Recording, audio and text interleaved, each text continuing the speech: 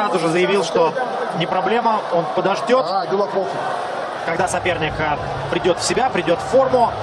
И поединок этот все-таки начинается. Митрион был, кстати, очень благодарен за оказанное такое доверие и уважение и сказал, что у Федора были все права на то, чтобы поменять соперника, отказаться от боя с Митрионом, но тем не менее вот он, этот бой, которого мы так долго ждали, гонг. И что ж, давайте смотреть. Да, визуально Митрион явно крупнее Федора, но не сильно выше. Федор очень аккуратно начинает э, эту встречу никто не бросается вперед. Несколько обманных движений в исполнении Митриона. И Федор очень-очень внимательно следит за своим соперником. Опущены руки, но это, в общем, такая...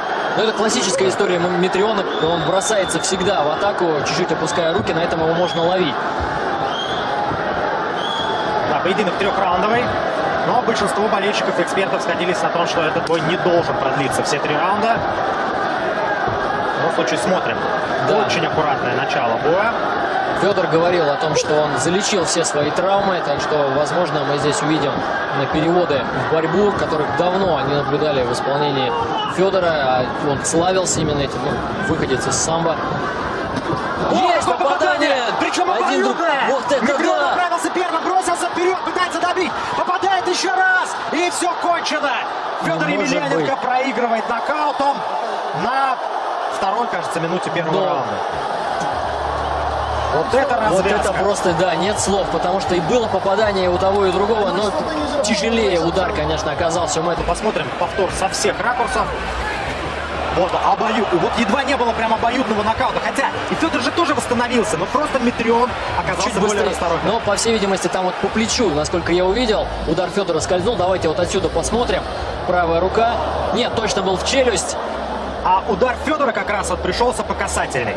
То есть он тоже был в челюсть, но... Э, чуть вот в сторону да. ушел, и поэтому Митриону получилось восстановиться быстрее. И здесь, конечно, да, Митрион тот человек, о котором мы говорили, он не отпустит, если попадет, тут же вскочил. Буквально какой-то доли секунды не хватило Федору на то, чтобы восстановиться. Есть вот эти тяжелые попадания справа снизу. И дальше рефери был вынужден вмешаться для того, чтобы предотвратить серьезные травмы. Вот это да. Ну вот разные были предположения, но никто явно не думал о том, что свалятся после первого же удара оба. О.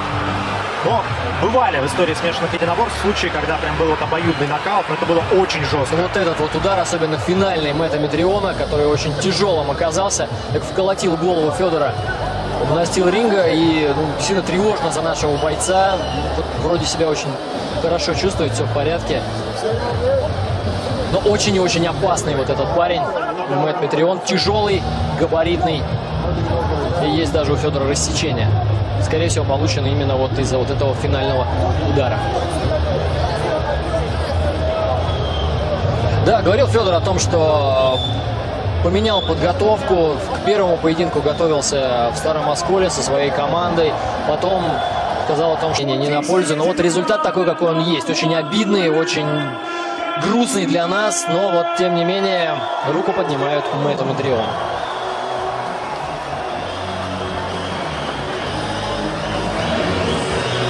Давайте послушаем, что скажет. Обоюдный нокдаун. I told my coaches and my trainers all week long, this shit's gonna be just like when I knocked out Derek Lewis. I feel it, I knew it was gonna happen, we were gonna explode at the same time, and may the best man win. Hey, by the way, Но он говорил своим тренерам, он говорил, что, в общем, это будет быстро.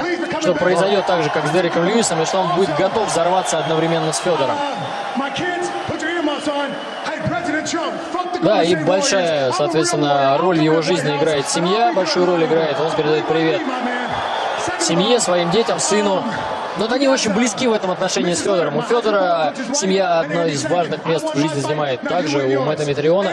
Но вот Мэтт Митрион сейчас победитель. Please, file, tweet the link out today. It's at Matt Mitrione. Please, go to his GoFundMe. He's got a nine-year-old son, and he just died. Please, if you got 25 cents or a thousand А Друг Мэтта Митриона, а, если я не ошибаюсь, э, Тим Хейк, а, канадский боец, не так давно погиб а, после нокаута. Он выступал по правилам бокса и погиб. И сейчас Мэтт Митрион а, попросил помочь его семье, помочь его сыну. Говорит, если вы хотя бы по 25 центов скинетесь, то вы реальную поддержку можете оказать этим людям. But I know that he started to engage and I engaged. I didn't know that we both dropped.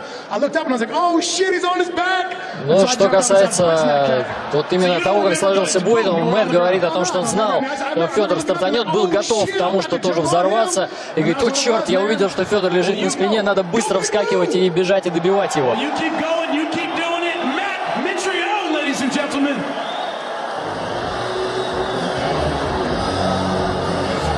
Ну что ж, Мэтт Митрион одержал победу. И, в общем, сделал свое дело. Тут э, никаких претензий быть не может. Э, Это был честный бой двух мужчин. Да И никому здесь не победителем, да, быть претензий, победителем, да, победителем вышел ни к американец. Мэтту, ни к Федору. К сожалению, для нас выступление Федора было это неудачным, но мы знаем, что ни один